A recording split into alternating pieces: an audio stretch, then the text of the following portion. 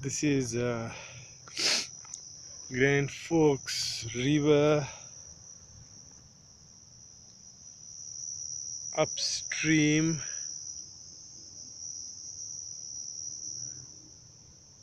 of the Forks Lincoln Park. That's my bicycle. These are the meters, calcium, potassium.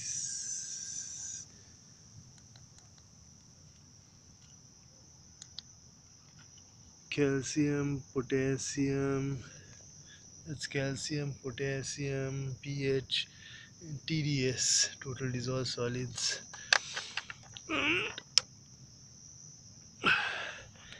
Today is going to be july 25th i believe 24th july 24th it's dark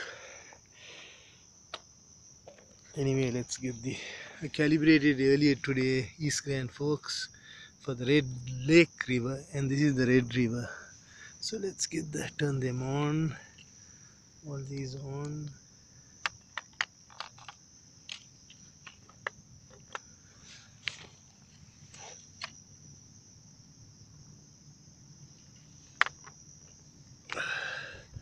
Turn them all on. Let's see if we can doesn't it hit the water.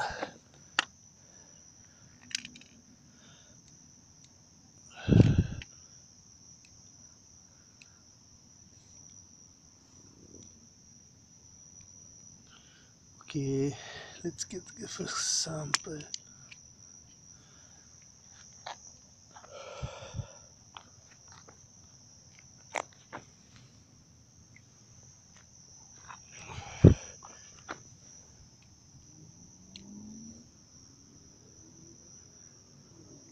getting 120 ppm for the calcium. Let's see what the potassium reads. Yeah, that's 120 ppm. Let's get the potassium.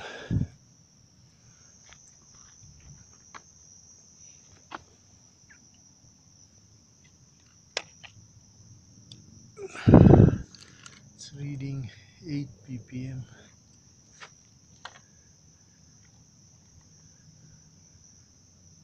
Oh, sorry 9 ppm and the East Grand Forks Red Zero for the Red Lake River. So the Red River seems to have more potassium. For some reason it may be the residence time of the Red Lake River as compared to the Red River. And we are getting it more alkaline here. 8.30 120 ppm 9 ppm for potassium 120 ppm for calcium 8.30 for pH and let's see how much TDS is going to be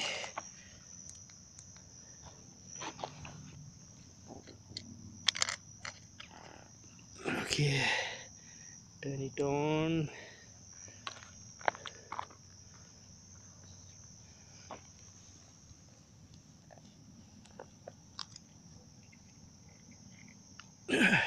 Four hundred and eighty-nine.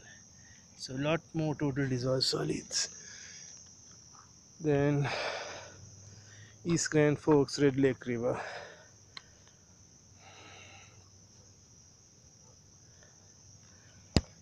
So we are done with this test today